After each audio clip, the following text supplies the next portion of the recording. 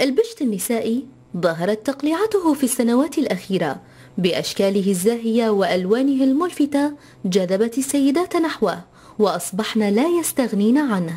البشوت النسائية أنا أعتبرها البديل للعباية الحين.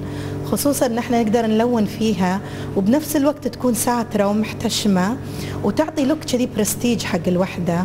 وطبعا ما يحتاج نقول إن الكويتيات إيش كثر قاموا يتفننون في إبداع يعني خطوط جديدة حق البشت النسائي. مناسبات عدة تستخدم حواء به البشت وتتباهى به بأنها مميزة. في الوقت الذي أصبح فيه البشت الرجالي مجرد شكل تراثي يعاني سوقه من الركود. تقريبا الحين الواحد ما قام يعني ما حد قام يشتري. مو الكل في ناس تشتري يقول هذا أرس في يوم وممكن أعطي حق أخوي وأخوي الثاني وممكن ولد عمي. وفي ناس يقولون مثلا خلاص هي ليلة واحدة أجر البشت وأرجع ثاني يوم يعني. ظهور البشت النسائي في الكويت جعله سوقا خارجيا لدول الخليج العربي خاصة قطر والإمارات.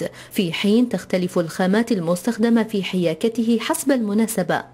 في الزري بالذات يعني يكون دقة إماراتية في دقة سعودية في حساوية في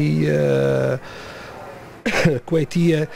يعني كل يعني كل تقريبا دولة تتميز بدقة معينة. بس بالأخير كلنا قاعدين نلبس من بعض تقريبا من كل دول الخليج. يعني قاعد تجينا طلبات وحتى مو بس إنهم يقامون يشترون من عندنا قمنا حتى ندز لهم. يعني تي أوردرات من عند وندز المساواة بين الذكر والأنثى وصلت حتى في تقليد الملبس والسؤال الذي يطرح نفسه ماذا بقي يا حواء؟